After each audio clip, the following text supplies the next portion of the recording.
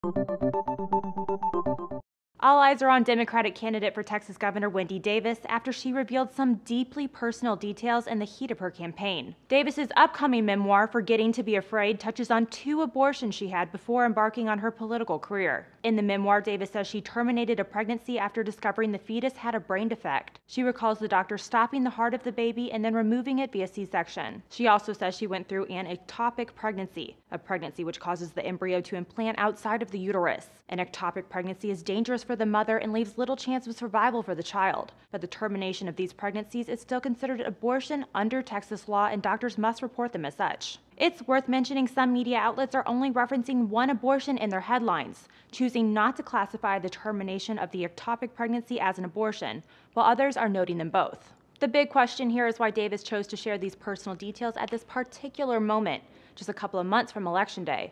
Although we didn't know the issue of abortion touched quite so close to home for Davis, the candidate has certainly taken a strong stance to make the practice safe and legal in Texas. Last year, Davis became a national political figure after waging a 11-hour filibuster that forced Texas legislators to open an entirely new special session to pass a bill restricting abortions in the state. The new details released by Davis might simply be meant to humanize the candidate.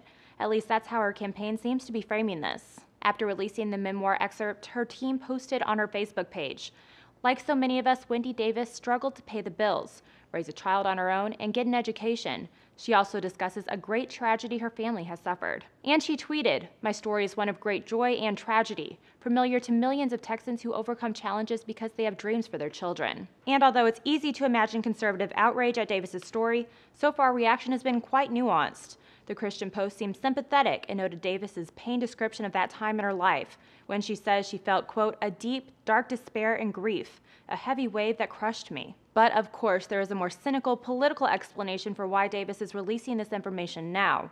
With the Democrat trailing her opponent significantly, some pundits believe this information will help her at the polls, and that Davis's campaign knows that. People who are supporting Wendy, Wendy Davis because she's pro-choice, obviously they're going to stay. They're, they're going to stay with her. I don't think you know people who are pro, who are pro-life. Uh, they'll, they'll, they'll, they'll, sympathize with her, but I don't think they're. It's not going to gain her extra votes. Davis's opponent Greg Abbott hasn't said much since this release, but did issue a statement saying the unspeakable pain of losing a child is beyond tragic for any parent.